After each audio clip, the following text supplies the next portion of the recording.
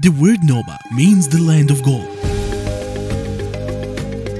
In the ancient Nubian language, and its origin goes back to the ancient culture of the land of Nuba in southern Egypt. Nuba Arts is an Egyptian blend between heritage and sustainable development. Nuba Arts challenge special needs.